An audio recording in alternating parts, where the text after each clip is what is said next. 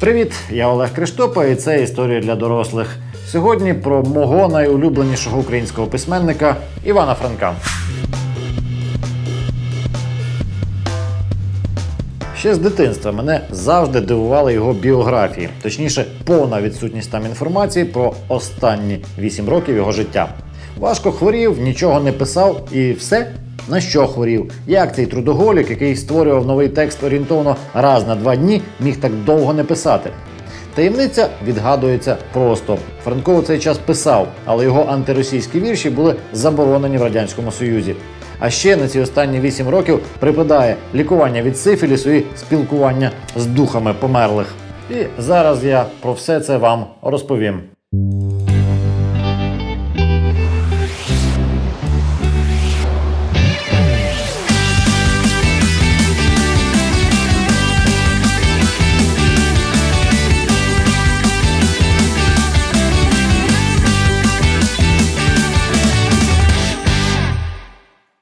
Отже, Іван Франко, а швидше Франко, попри власні слова, що він мужик, був вихідцем з дрібної шляхти. Ще у шкільні часи проявляв феноменальні здібності. У гімназії під час уроків, які вважав нецікавими, читав Шекспіра чи гете німецькою або перекладав з давньогрецької Софокла.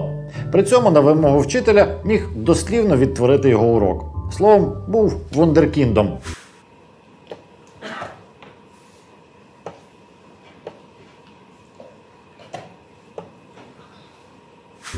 Всього Франко досконало знав 14 мов, а польською та німецькою писав тексти не гірше, ніж українською. Був доктором наук, але захищався у відні, бо Львів свого генія не захотів прийняти. Розказувати про Івана Франка можна багато, але переважно це загальновідомі факти. Менш, а то й зовсім невідомі останні роки його життя. Все почалося у 1908-му. Франко якраз залишився без основної роботи. Літературно-науковий вісник Михайла Грушевського після російської революції і, нарешті, дозволу друкувати українською мовою, переїхав у Київ. У Франка виникли серйозні фінансові проблеми. Його будинок був збудований під банківський кредит, фактично в іпотеку.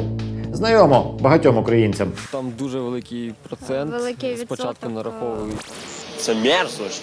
Але Франко, у якого було четверо дітей, троє синів та донька, наважився на кредитування. Будинок виглядав та й досі виглядає ось так. І от на початку 1908-го, залишившись без основного заробітку, Іван Франко ще й важко занедужав. Його мучив головний біль, безсоння, запалення очей, ламало суглоби, виникли проблеми з сечовипусканням. Врешті Франко, який дуже не любив лікарів, таки звернувся до Ескулапа. Той прописав повний спокій і відправив лікуватися на води у містечко Ліпік в Хорватії. Ось так воно виглядає. Але на початку ХХ століття Ліпік славився своїми йодованими водами. Уже тут Франко з подивом дізнається, потрапив на курорт для сифілітиків. З подивом, бо, очевидно, не мав жодних підстав вважати, що заразився цією венеричною хворобою. Але лікарі, помітивши невідомі їм симптоми хвороби Рейтера, очевидно, вирішили інакше.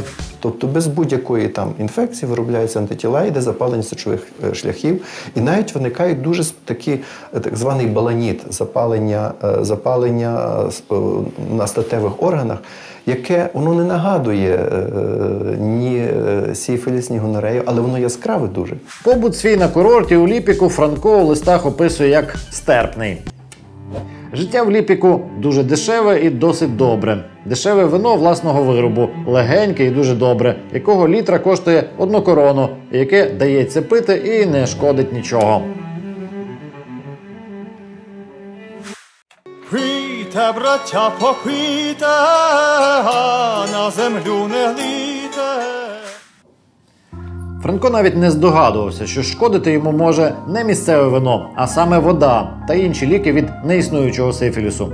Цю хворобу лікували ще ртуттю і напристянкою. Усі ці засоби викликають галюцинації, і у Франка вони досить швидко настали. У листах від перших днів квітня 1908-го Франко описує свої перші галюцинації. Ночами до нього приходить сердитий дух померлого кілька років перед тим Михайла Драгоманова. Скаржиться на важкий побут у вічності та звинувачує у всьому писанину Франка. Врешті, в одну з ночей він бере на допомогу інші духи, зокрема Тараса Шевченка, і вони разом щиняють над Франком щось на зразок суду. Велять письменнику майже голом вибігти на вулицю і ганяють від калюжі до калюжі.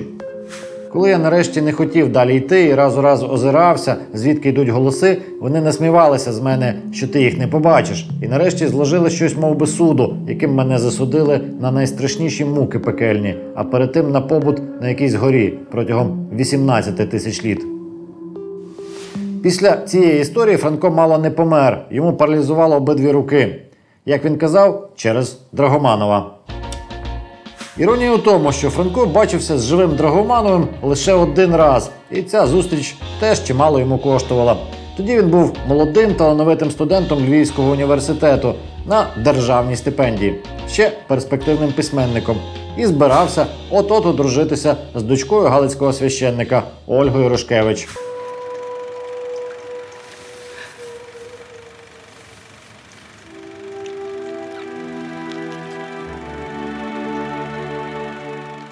Драгоманов після переслідувань російської влади втікав з Києва до Європи.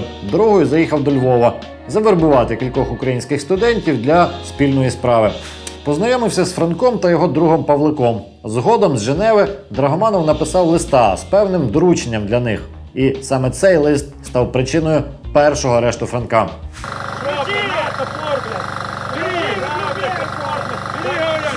Усі перспективи Франка в один момент були зруйновані. Він втратив стипендію та шанс завершити навчання. Батько нареченої заборонив йому з нею бачитися. Врешті, через погані умови утримання в тюрмі, Франко підірвав собі здоров'я. Але письмове спілкування з Драгомановим Франко продовжив, попри те, що той неодноразово поводився грубо і вимогливо. Франка любили багато жінок, проте одружився він з розрахунку і не через гроші. Його обраниця Ольга Хорожинська була зі східної України, і у такий спосіб галичанин Франко, наче втілював мрію усіх українців про соборність. Про спадкову психічну хворобу нареченої Франка ніхто не повідомив. Р- Родилась необычно, я родилась от отца. Некоторые... Парафренный синдром А я- с нелепым фантастическим бредом. И родил он меня как женщина, но только был с мужским лицом. Ольгу Франко неодноразово лікували у психіатричних лікарнях безрезультатно. І от тепер під одним дахом опинилося одразу двоє не зовсім психічно здорових людей. Франко з одного боку залишався генієм, але іноді впадав у дивні психічні замішання. Був упевнений, що має надприродний зв'язок зі світом мертвих. Так одного разу купив у львівського антиквара старий рукопис і видав його за свої гроші, наче невідому драму польського поета Адама Міцкевича. Бо так йому сказав дух покійного. Хоча у літературознавців немає сумнівів, що це текст якогось посереднього поета. Хворому письменнику почала збирати гроші Галицька громада. У 1913-му галичани вирішили влаштувати Франку бучний ювілей 40 років творчої діяльності. Адже він точнісінько як герой його ж поеми Мойсей. Народи мій, замучений, розбитий, мов паралітик той на роздорожжу, людським презирством, ніби струпом вкритий. З організацією урочистостей все було не так просто. Соціал-демократи, наприклад, вимагали, щоб попереду йшла колона робітників. Мовляв, Франко писав про пролетаріат у Бориславі. Інші заперечували, що першими мусять бути селяни. Один жартівник нагадав про євреїв, яких також багато у творах Франка, і про чоловіків з табличками, натякаючи на Мойсея. А закінчувати колону, за його словами, мали героїні франкової повісті для домашнього огнища. От російською як буде? Проститутка. Як трактор завівся. Українською повія. Повія. Повіяв. Чуєте, вітерець по степу. Що відбувається з пророками, відомо. Їх або розпинають, або забувають. З Франком сталося на його щастя друге. Уже за рік вибухнула Перша світова війна. Обоє живих синів пішли до австрійської армії, зокрема Петро до українського підрозділу січових стрільців. Донька Анна опинилася під Києвом по той бік лінії фронту. Хворий письменник залишився сам з божевільною дружиною. І це було жахливо, як свідчать сучасники. З літами, як Франко мав спаралізовані руки, Ольга Франкова щораз більше йому докучала і кидала на нього дерев'яними опаловими полінами. Франко своїми хворими руками не в силі був оборонитися. Якийсь час Франко переховується у друзів, але врешті Ольгу знову переводять на лікування до психлікарні. Франко повертається додому, але опиняється абсолютно самотній у час війни. Розповідають, що немічний письменник виходив на базар з сумкою на плечі. Жінки-продавчині самі діставали з кишень гроші і кидали найнеобхідніше у сумку або запихали під паху. Моїсей українського народу опинився перед реальною загрозою голодної смерті. До всього додалася російська окупація Львова. Українську еліту на чолі з митрополитом Шептицьким було заарештовано. Мову заборонено. Франка не зачепили тільки через хворобу, хоча будинку його дісталося. Будинок і обійстя Івана Франка було просто сплюгавлено. Бібліотека Івана Франка пішла на туалетний папір в багатьох випадках. Хворий немічний Франко на цю окупацію відреагував антиросійськими віршами, які писав по літері лівою рукою. Боялися москалі, що Львів город на скалі. Всі вони були згодом, звісно, заборонені, як в Росії, так і в СРСР. Не потрапили в 50-томник Франка. Та навіть і зараз їх можуть прочитати тільки обрані в малотиражному додатку. Гроші з рахунку в українському банку Дністер, на який приходили пожертви для Франка, були просто-напросто вкрадені російською окупаційною владою.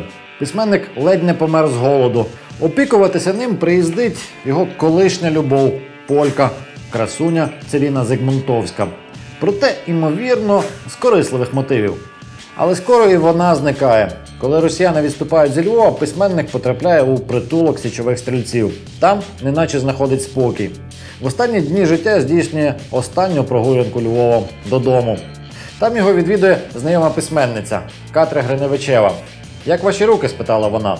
Франко задивився у бік і за який час відповів: Духом велено мене не чіпати.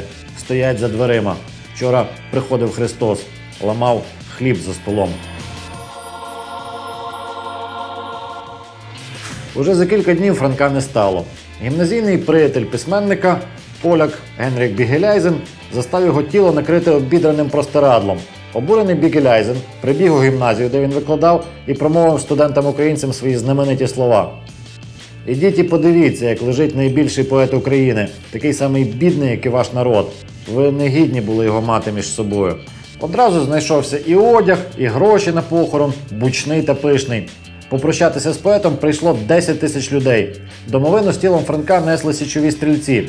Це сталося завдяки унікальній в історії світових воєн домовленості перемир'я між українцями російської та австрійської армій. За кілька місяців після смерті Франка німецький військовий лікар Ганс Рейтер, оглядаючи хворого солдата, описав дивну генетичну хворобу, своєрідну форму артриту, ті ж симптоми, що і у Івана Франка. Твори Франка, як і будь-якого великого письменника, актуальні і сьогодні. А що з Франка любите ви? Пишіть у коментарях, лайкайте це відео і, звичайно, підписуйтесь на наш канал. До зустрічі за тиждень.